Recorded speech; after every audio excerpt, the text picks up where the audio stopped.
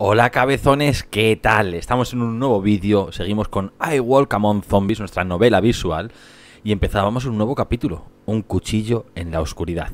Bienvenidos al vídeo.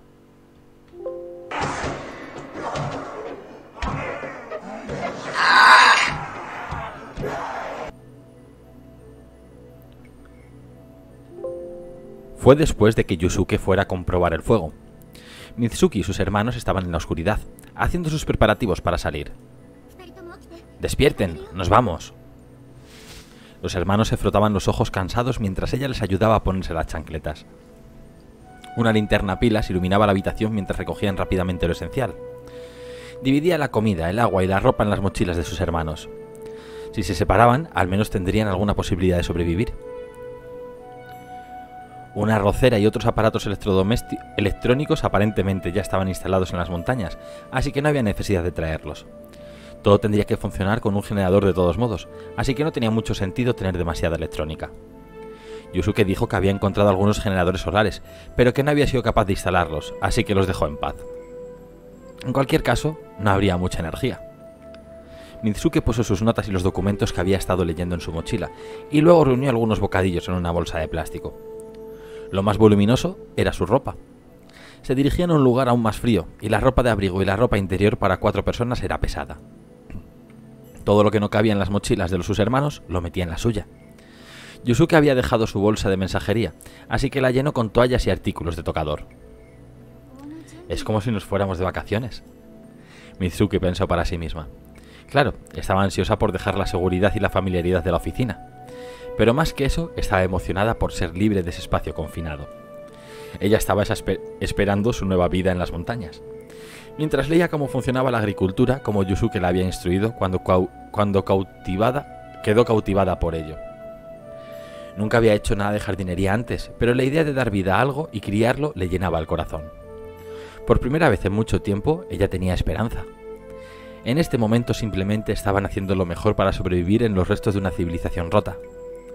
Vivir de la tierra y cultivar sus propios alimentos les ayudaría a recuperar al menos un poco de humanidad. Era una segunda oportunidad de vivir.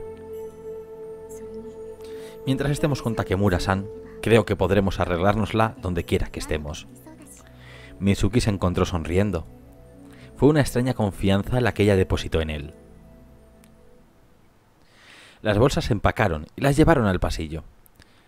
Estrellas matutinas que se desvanecen atravesaron la ventana del piso al techo del final del corredor. En ese momento, Mitsuki notó que los símbolos del piso del ascensor se iluminaban. Estaba llegando a su piso. Tal vez el fuego no fue un gran problema después de todo. Ella se detuvo, pensando que Yusuke había vuelto antes de lo esperado. Dejando las bolsas, ella esperó frente al ascensor. Llegó con una campana y la puerta se abrió. ¿Eh? Mitsuki se retiró. Yusuke no estaba en el ascensor. Era un hombre larguirucho y asqueroso. Una cantidad de vellos cubría su barbilla y un largo grasiento cabello colgaba de su cabeza.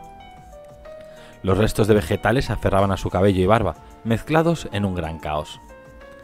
Su ropa estaba igualmente sucia, con manchas por todas partes. Un hedor pútrido llenó la sala. Mitsuki conocía al hombre de alguna parte, cuando lo vio, la tomó por sorpresa. El hombre se apoyó contra las puertas del ascensor y se arrastró hacia adelante, como si le doliera caminar.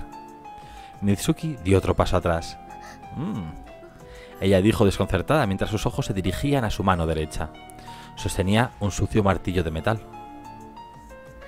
Mitsuki retrocedió silenciosamente hacia la oficina. Sabía que había visto a este hombre antes. Ella no podía recordar dónde. Tratando de ocultar la ansiedad de su voz, dijo, ¿Eres un superviviente? Si quieres comida tenemos algo. Puedes tomar toda la que quieras. Mitsuki sacó una de las bolsas de plástico llenas de comida de su mochila y la colocó en el suelo. Sus ojos se, pasaron, se posaron en ella, en ella y Mitsuki aprovechó la oportunidad para alejarse más. Vio al hombre acercarse e inclinarse antes de dar la vuelta. Corrió a la oficina y cerró la puerta tras ella.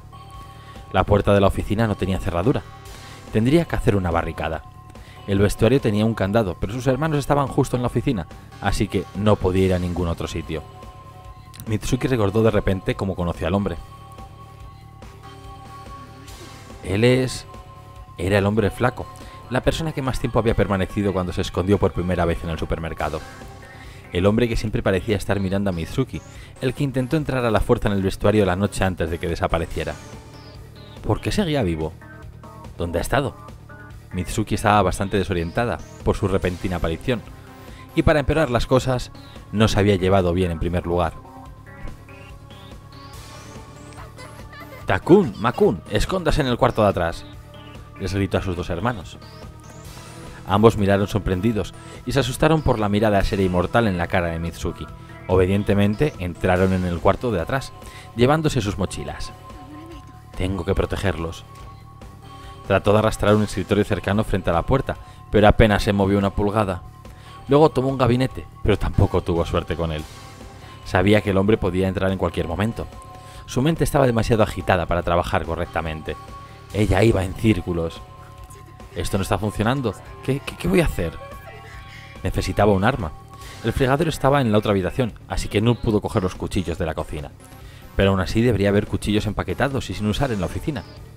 Los había guardado con otras herramientas peligrosas en un armario cerrado para que sus hermanos no pudieran llegar a ellos. Abrió de un tirón el cajón del escritorio y forzando sus ojos a la tenue luz de la linterna y finalmente encontró la llave. Con las manos temblorosas metió la tientas la llave en la cerradura mientras miraba hacia la puerta. Todavía no había llegado. Dentro del gabinete había una antorcha de propano, una estufa portátil y varias herramientas de cuchilla. Tomó tomó uno, abrió el embalaje y sacó un cuchillo. En ese momento, la puerta de la oficina se abrió. El hombre del gaducho se arrastró a sí mismo. Su mano todavía agarraba el martillo. Miró fijamente a Mitsuki en silencio, aparentemente evaluándola. Mitsuki respiró hondo mientras se alejaba del armario, apretando el cuchillo delante de ella con ambas manos. Ella misma se sorprendió de lo preparada que estaba para usarlo. No te acerques más. El hombre permaneció en silencio. Si quieres comida, te daré todo lo que tenemos. Solo tómala y vete. Vuelve al lugar de donde viniste. Nos vamos de este lugar mañana. Puedes hacer lo que quieras con él entonces. Aunque el hombre escuchó, no mostró ninguna emoción. Simplemente miró alrededor de la oficina en silencio. No me voy a echar atrás. Mitsuki se mordió el labio. La última vez fue atacada. Estaba tan frenética que solo podía temblar. Pero era diferente en ese momento. Ella había conseguido esperanza, tenía un propósito. Iban a reconstruir sus vidas en las montañas, para pasar los días que le quedaban en paz y tranquilidad. Ella pelearía. El hombre dio un paso adelante y Mitsuki sacó su cuchillo. No te tengo miedo. El hombre se detuvo. Miró el martillo en su mano. Su otra mano se deslizó a lo largo de su cabeza y luego miró hacia arriba. Ah, el hombre tosió. Bien, habló mientras el martillo seguía colgando a su lado. Mitsuki no bajó la guardia y mantuvo su cuchillo levantado esperando que él hablara. Así que finalmente abrió la boca. ¿Son esos dos los únicos otros aquí? Mitsuki no pudo evitar darse la vuelta. Sus hermanos estaban nerviosos mirando alrededor de la puerta abierta. No, quédense. Mitsuki no pudo terminar su frase porque algo la golpeó. El hombre le había tirado un recipiente de artículos de papelería desde el escritorio. Los bolígrafos y las tijeras estremecieron contra el suelo, y el hombre levantó su martillo y cargó contra ella. Mitsuki se retorció, empujando su cuchillo hacia adelante de manera imprudente. Ella sintió la resistencia de haber atravesado algo, junto con un dolor sordo que le recorría el costado. ¡Ah! Se desplomeó hasta el suelo, con un gran esfuerzo. Agarrando su lado izquierdo empezó a arrastrarse, tratando de alejarse lo más posible del hombre. El comunicador que colgaba de su cuello se soltó y rodó por el suelo. Entonces se dio cuenta de que la mano que las, en la que sostenía el cuchillo se sentía húmeda. Era difícil estar segura, ya que la linterna estaba lejos, pero parecía ser sangre. Un rocío de sangre, pero no era de ella. Echando otra mirada vio al hombre, agarrado de su brazo, agarrando su brazo izquierdo, mirándola a través de la oscuridad. Gotas oscuras de líquido cayeron de su brazo. Con la cantidad que estaba sangrando, la herida tenía que ser bastante profunda. Sus ojos abultaron en la ira. La luz se reflejó en sus ojos inyectados en sangre. Levantó el martillo y se acercó a grandes zancadas. Mitsuki se puso de pie, todavía sosteniendo su lado.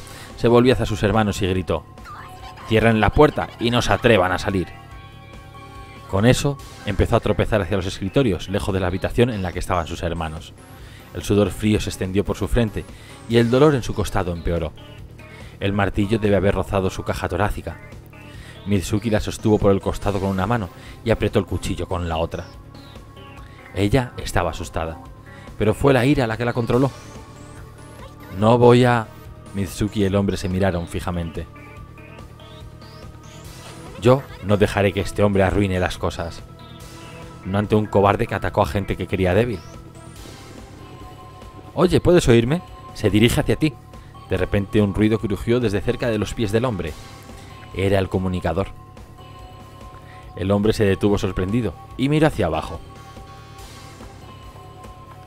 Mitsuki aprovechó la oportunidad para correr hacia la entrada. Takemura-san. Yosuke estaba en camino. Ese pensamiento la empujó, animó a su dolorido cuerpo a moverse y se lanzó a través de un hueco en los escritorios. El pasillo estaba justo delante de ella, cuando algo golpeó la parte trasera de su pantorrilla. Tropezó y chocó con un armario rebotando en él y acurrucándose en el suelo. ¡Ouch! Tomando su hombro palpitante, se levantó a sí misma. Ella notó el martillo que estaba cerca de ella en el suelo. Se lo había tirado a la pierna. Cuando se cayó, perdió el cuchillo y no pudo ver dónde había ido. Sintió a alguien detrás de ella, pero no tuvo tiempo de darse la vuelta antes de que le dieran una patada en la espalda. Mitsuki se tambaleó hacia adelante con dolor. La dejaron sin aliento. Se acurrucó en agonía. No podía pensar. El hombre la agarró por el cabello y la arrastró a su espalda. Su asqueroso aliento animal sopló contra su cara mientras se cernía sobre ella. Su silueta bloqueó su vista del techo. No, no. Se formaron lágrimas de arrepentimiento en sus ojos. Ella intentó apartarlo, pero él la tomó del brazo y la golpeó en la cara. Por un momento su visión se volvió borrosa. Cuando regresó vio la silueta del hombre que sostenía su martillo en alto. ¡Mitsuki! Masaru gritó. El niño pequeño cargó hacia delante golpeando la espalda del hombre. Se tambaleó, pero no se cayó. En cambio, se dio la vuelta para enfrentar al chico. Mitsuki también podía ver a Takashi detrás de él. Estaba claramente asustado, pero saltó hacia adelante en, desesperación por salvar a su hermana. El hombre simplemente lo rozó con un brazo y levantó el martillo. ¡No! Mitsuki se agarró a las piernas del hombre, pero no pudo detenerlo. El arma mortal cayó y la sangre bailó por el aire. El arma mortal. Ojo, capítulo rápido, capítulo muy cortito, 13 minutos, pero ojo, creo que sé lo que ha ocurrido, creo que vosotros también sabéis lo que ha ocurrido y nosotros dejamos el vídeo de hoy por aquí. Espero que os haya gustado mucho, si es así un gran like y una gran manita arriba os agradece un montón, dejarme lo que queréis en comentarios, suscribirse y campanita para todos los recién llegados y nada más, que si os gustó el vídeo, nos vemos en el siguiente. Chao.